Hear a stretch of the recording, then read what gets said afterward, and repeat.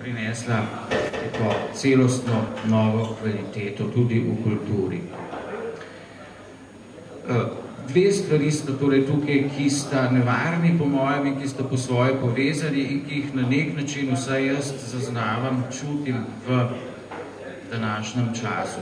Torej, po eni strani relativizem in nezanimanje za življenje in z njim povezane utopije, nevarne družbene utopije, pač pričakovanja, da se da na nekakšen um, horuk z parolo de, nekdo dela, drugi pač razmišljajo ali se grejo politiko, nekdo pa dela in pač na ta način z akcionizmom, z dejavnostjo spreminja stvari. Uh, to je recimo ena, po mojem, nevarna skušnjava, ki tudi v pogojih formalne demokracije lahko dobi nesluteno široke uh, vzvode družbe v svoje roke. Um, to, da je relativizem v tesni povezavi z v bistvu monokulturo ali neke vrste absolutizmom, da izvira iz njega želja po absolutni oblasti ali pa da se poraja iz tej, ko prej iz njega želja po absolutni oblasti, to seveda ni nobeno odkritje, to so stara zgodovinska dejstva. Um, jaz sem bil zelo, kako ne rečem, zaprepaščen, ko mi je čisto pred kratkim mlajša uh, literarna kritičarka rekla tako, ne, da pa moram reči, da sem jaz tudi do njenih kritik precej kritičen, ker se mi zdijo poenostavljeni in tako dalje. Ampak je rekla, da če pa še mlajši kritik in to veliko njih nezadovoljni z njenim načinom pisanja, ker preveč razmišlja, puhta, preveč skratka uh, srčno vstopa v literaturo, ampak ne daje kratkih jasnih sod, to je dobro, to je slabo ta stvar je mene seveda zaprepastila, ker jo imam za nek nevaren signal um, upadanja senzibilnosti, upadanja občutljivosti za literaturo in povezavi s tem za kulturo, je direktno izražena želja po tem, da bi se vzpostavili eni absolutni kriteriji, ki sploh ne dopuščajo zanimanja za stvari, ne dopuščajo dialoga, ne dopuščajo um, tistega, o čemer je prej profesor Cerar govoril, tistega zanimanja za drugega, spoštovanja za drugega um, in gojenja skupnega prostora, kar v bistvu uh, kultura pravzaprav je. Kultura izhaja Beseda kultura iz glagola kolo, latinskega, ki pomeni neguje, skrbim za nekaj. Skratka, skrbim za skupni prostor, za vzpostavljanje možnosti skupnega življenja. Um, vendar je osnova tega pravzaprav priznavanje skupnega prostora, tudi drugemu sobivanje in predvsem zanimanje za drugega. No in ravno v zvezi s tem se mi zdi, Eh, da je treba poudariti, odkot po mojem preti neka precej perfidna eh, nevarnost za svobodo. Mogoče niti ne toliko od zunanjih primitivnih posegov uh, zopr svobodo, ampak predvsem iz nezanimanja, iz nezanimanja za samega sebe, iz nezanimanja za življenje, iz nezanimanja za to, kaj v bistvu vsak od nas je in kaj skupaj kot družba smo. To je seveda problematično tako v okvirih naše, slovenske družbe in države, kot v širših okvirih. Mogoče tukaj um, Slovenci pravzaprav nismo čeprav imamo svoje posebne probleme, zgodovinske probleme, o kateri bi bilo tudi treba kaj reči, ampak mogoče nismo na čisto drugi parki kot zahodna, zlasti evropska družba. Slovenski filozof Milan Tomar je napisal že pred zelo dolgimi leti, najbrž še njih 50 let nazaj, en esej, ki ima po mojem proroški naslov Za nezanimanjem potuje smrt inkognito. To se pravi, za nezanimanjem se nam smrt kot neznanka pridruži in nas v bistvu, ne da bi se tega zavedali, mori v tem, kar smo. In tu jaz osebno vidim najgloblji in najhujši izziv svobode v tem trenutku.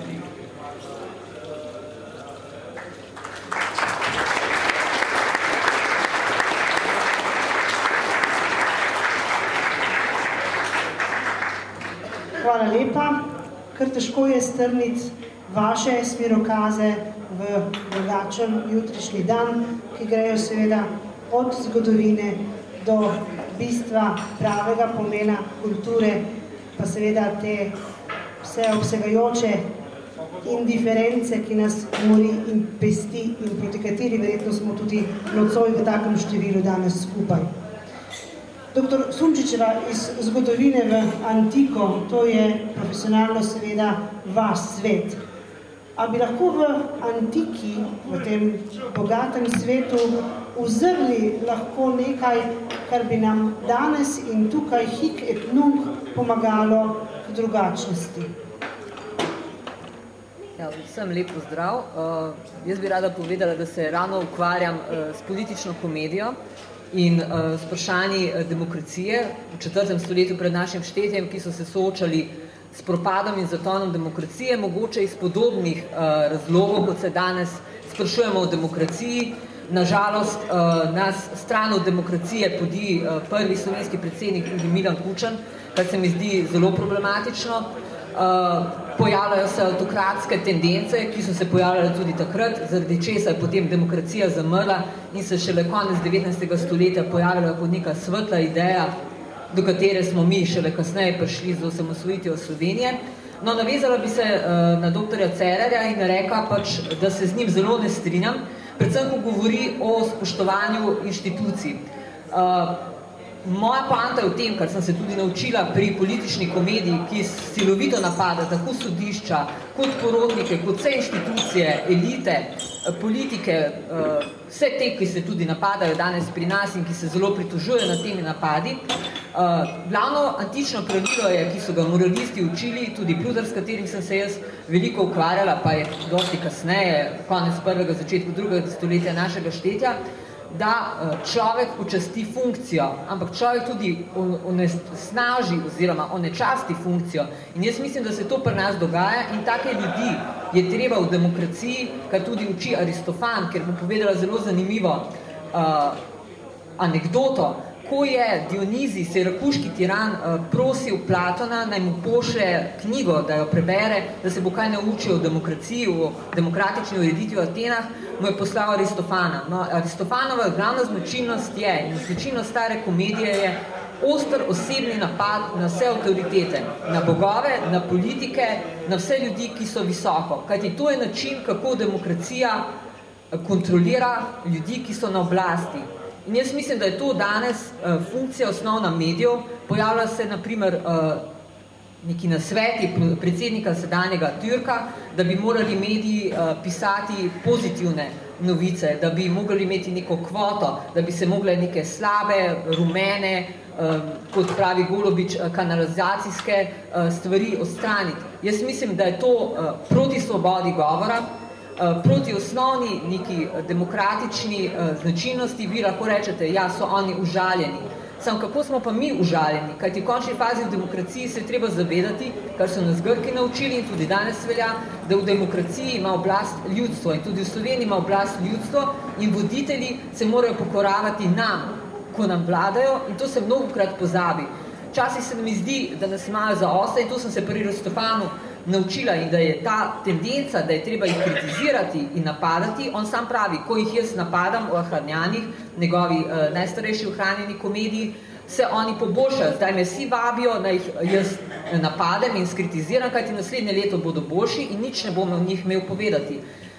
Tako da mislim, da ta svoboda govora, grško se temu reče paresija, je najlepša stvar in tudi uh, diogen, ki se je sicer izogibal uh, javnemu udejstovanju, pa je vendarle bil van uh, povlečen in se tudi spopadal s tako veliko avtoriteto in recimo totalitaristom Aleksandrom velikim, da se mu je upal upreti. Ko so ga vprašali, kaj je najlepša stvar na svetu, je rekel svoboda govora. In mislim, da danes tudi ko se govori o medijskih zakonodaj in podobnih zadevah, da je ta svoboda govora resno ogrožena in da se nam reče, da potem mi žalimo, platimo in ne spoštujemo nekoga, ki dejansko nas žali. Mi se nikoli ne vprašamo kot državljani, ki pač vladamo po nekomu, ki smo ga izvolili, kdo nas žali in ali je naša svoboda s tem omejena.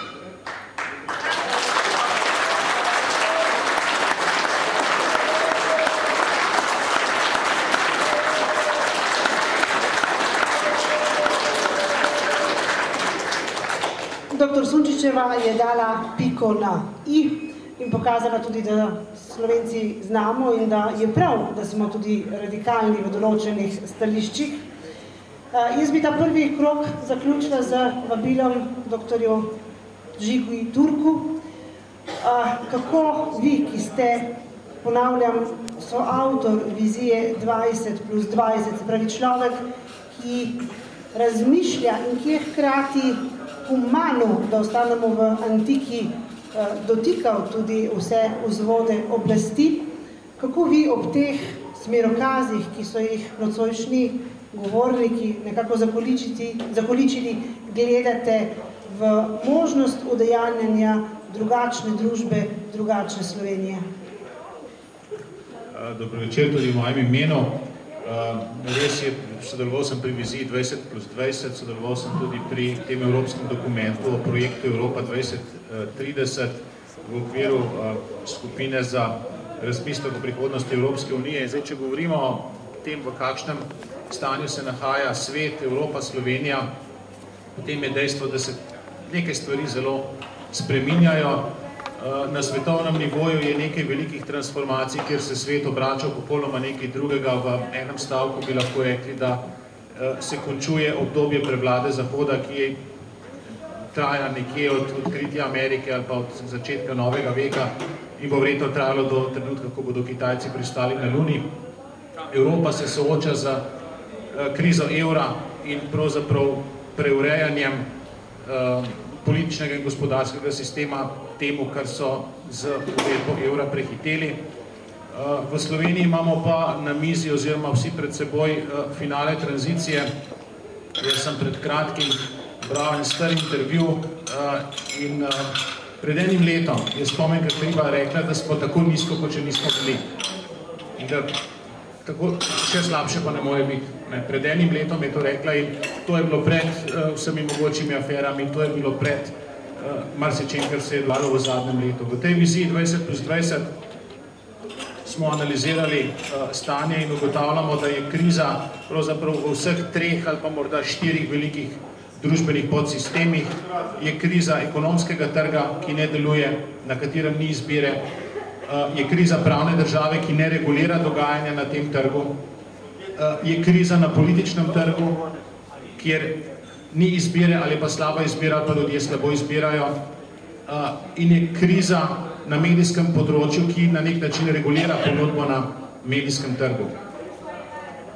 Uh, lahko bi rekel ali pa ocenil, da uh, se nahajamo v neki, neki čudni, v nekem čudnem filmu, ne, v nekakšni navidezni resničnosti, bi rekli računalnikari. Ne. Eh, jaz se spominjam tri leta nazaj, ko smo bili še v vladi, so bile glavne naslovnice, polni časopisi, cele oddaje, od, ne samo na svetu, na kanalu, a tudi druge, revščina, revščina. Posod je bila revščina v tem, da so realne plače rasle za 6%, da je bila gospodarska rast 7%, da je bila brezposelnost eh, najnižja kadarkoli. Potem smo kar verjeli, nekdo je rekel, o, mi smo pa nova politika, ne, pa so vsi verjeli, o, to je pa zdaj nekaj novega, vse politiki so vsi slabi, ampak zdaj bo prišel nekdo nov, pa bo stvar uh, uredil, pa smo verjeli. Ne. Pa nekdo rekel, sem pripravljen prevzeti odgovornost. Ne. Uh, pa govori o tem, kako je pripravljen prevzeti odgovornost, pa nikoli pa ni, nobene poteze ne potegne, da bi to uh, odgovornost prevzel. Ne. Mi imamo komaj kakšno stranko, ki gre iz volitev, iz volitev v volitev, iz, iz volitev v volitev za istim imenom, ali pa imamo kar nekaj strank, ki vsakič zamenjajo ime, eh, da, kako bi rekel, odložijo vso zgodovino, vse zgodovinski spomin uh, nekam drugam. Ne, mi imamo besede o reformah, kar naprej se govori o reformah, pa nobene reforme še nismo videli. Mi imamo besede, kako smo zmagovalci krize, pa, imamo, pa smo poraženci krize v evropskih primerjavah, imamo izhod iz krize v obliki črke L, smo padli in smo na nekem nizkem nivoju